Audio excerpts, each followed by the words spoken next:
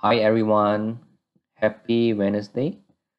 So it's going to be a long weekend for me here in Australia. So today in this video, I am going to show you guys how to schedule Power Automate Desktop based on a timetable um, that you that you will create in uh, Excel. To demonstrate what my Power Automate Desktop flow will do, I will first change the time here. Okay, the time here is now is 6.32. So I'm going to change it to 6.34, right? And save it. Um, so that I'm going to show you that Power Automate Desktop um, will run um, the second flow and then wait till 8.46 to run the third flow. So um, I'm going to close this file and then I'm going to open the Power Automate desktop and then I'm going to run.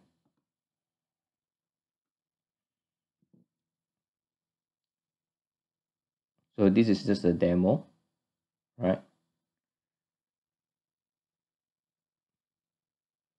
Okay, over here you can see it's waiting 13 seconds right to run the second workflow subflow 2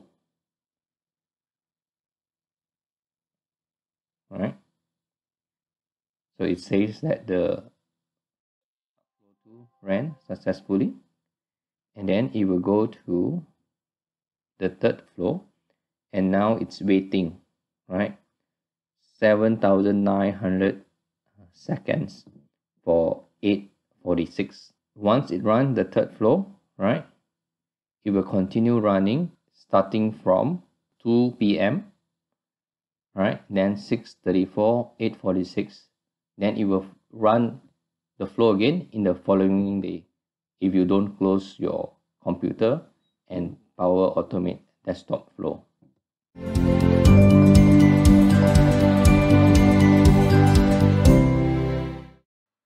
Hello everyone, my name is Hao Zong. I'm here to help you to use office work tools such as Excel and Power Automate. If you think my videos are helpful, please help me by subscribing to my channel. Thank you. The first step to do this is obviously create an Excel um, table with your timetable. So name it as timetable.xlsx. You can name it whatever you want uh, but over here just uh, try to um, follow my column names time subflow desktop flow names. This column C is just for your reference purposes only. So the time right you need to make the time text format. So it's uh, you have to put apostrophe right and then your time. So minute minute second second right. So you can put as many as you want uh, as many subflows as you want. But bear in mind you need to create more um, subflows in uh, Power Automate desktop. So for for me I just need three. So I will create um, three subflows in my Power Automate desktop. I will show you guys later. Um, then you use Power Automate Desktop.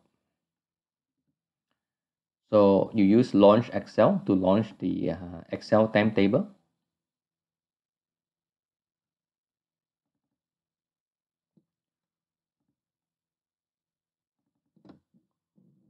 Right, launch Excel and open the following document. Um, then you need to uh, put the file path um, to the timetable, right? Then uh, make instant visible, disable, open as read only, enabled. Right, the rest you can leave it as default. Various Variables produced is Excel instance. Then you read from Excel worksheet. Excel instance is Excel instance. Retrieve all available values from worksheet. right? Get cell contains contents as text enabled. First line of range contains column names enabled. Variables produced is Excel data.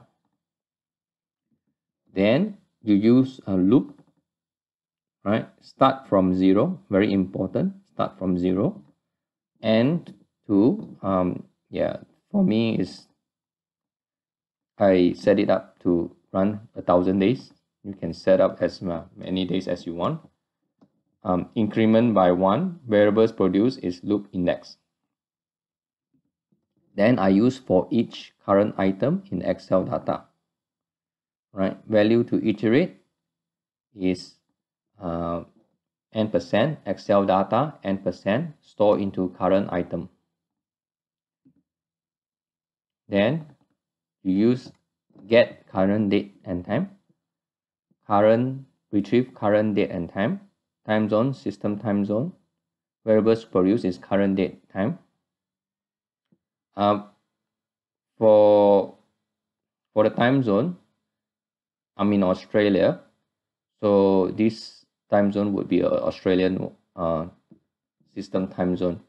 So maybe if your workflow doesn't work, maybe you select the Australia system time zone, right, under here, specific time zone.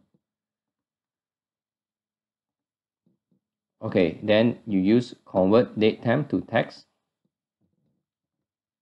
Date time to convert, current date time, format to use custom. Custom format is this format. Huh?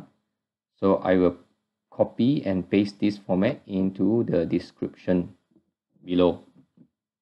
Variables produced formatted that date time. Then convert date time to text, date time to convert, current date time, format to use custom, custom format HH, colon MM, right? Variables produced is how hour minute to be replaced.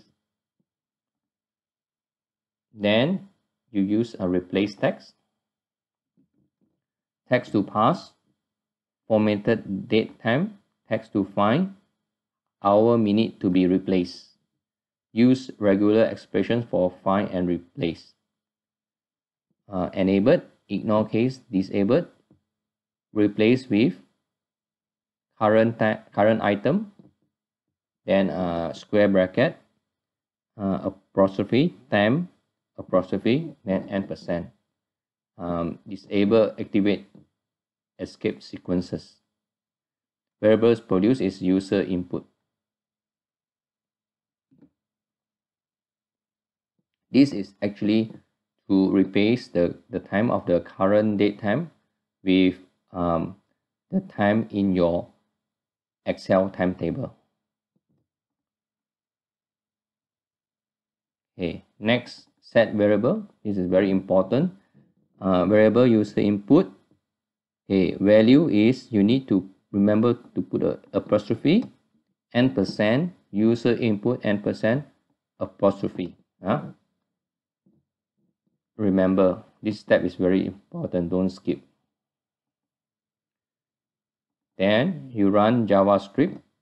Right, I will copy all this into um, the description below, right? Everything word by word you need to copy. Uh, if you see here, the loop index, right? So the first loop index is 0. So 0 times this, this number, it's uh, 0. Um, so it, it, will, it will run for the day. And then once it once the loop index uh, plus 1, right, then it will run the next day. Right? That's why the the the loop loop need to start with uh, zero. So that um, it will it will wait right before it start running the um, workflow then you use convert text to number. So text to convert is n percent wait time n percent. Variables produced is value underscore wait time. So if then I use if. If wait time greater than 0 then it will start running the flow. The reason I'm doing this is um, because let's say if like just now I run it I run the workflow at 6 633 right? So it will skip the 2 o'clock workflow because it's already passed so the wait time it will be negative. So if it's if it's uh 634 and I'm on 633 it's uh, plus 60 seconds so it's a positive so it will go to the second workflow and uh, start running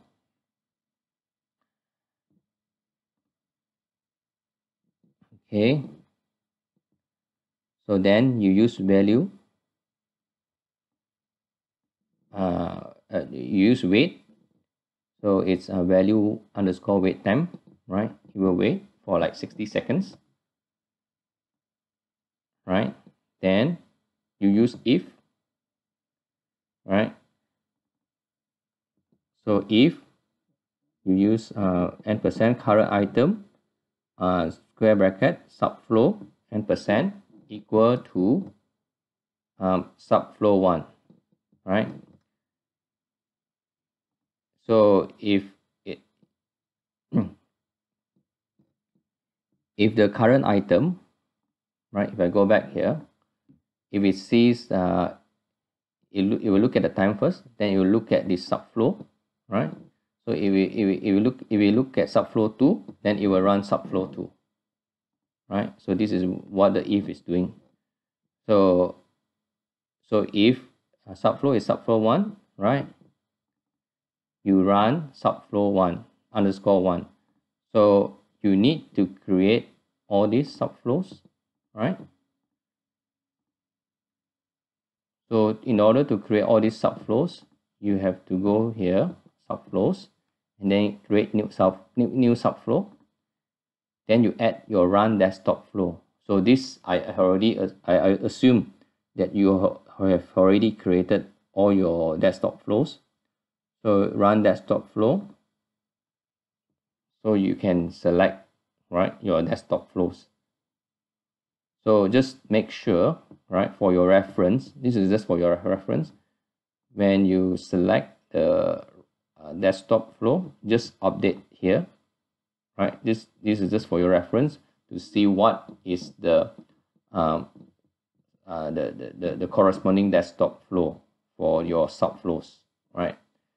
Um, it, it doesn't it's not used by the power automate flow. That's why I can just type in whatever but it will still uh, run my subflows.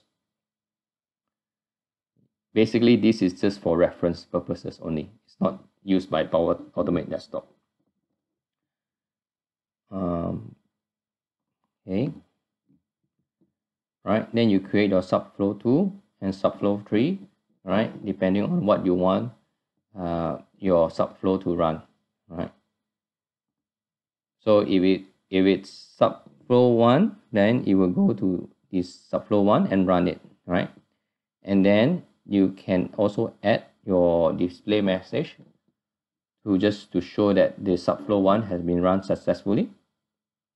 So message this is optional but I think uh, it's good to have it.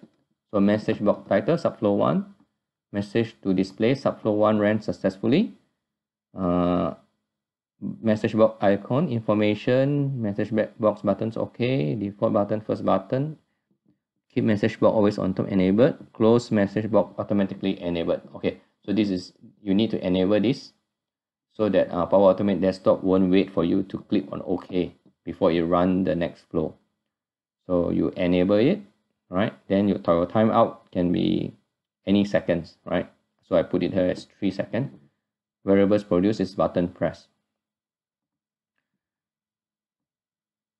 So um, then I use else if right? Current item subflow equal to subflow 2 right? Then run subflow 2 right? Then you uh, can display message for subflow 2 then I create another one for subflow 3 else if right? Equal to subflow 3 then I change it to run subflow 3 and display message.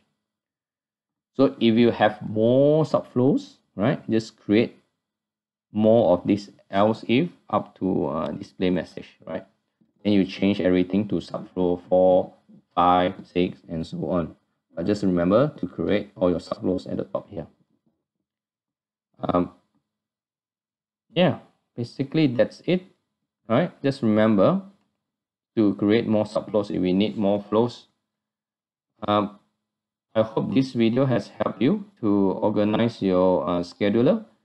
Um, if you like this video, please give this video a like and please remember to subscribe. I'm trying to hit a thousand subscribers and I only have 195 subscribers. Um, thank you so much and uh, have a good long weekend if you are celebrating Easter and Good Friday. Uh, also, if you have uh, run this successfully for many, many, many days, just let me know in the comments below so I can keep a record like what's the longest daily streak that you have run the flow successfully. Um, yeah, have fun guys with Power Automate Desktop. See you. Bye bye.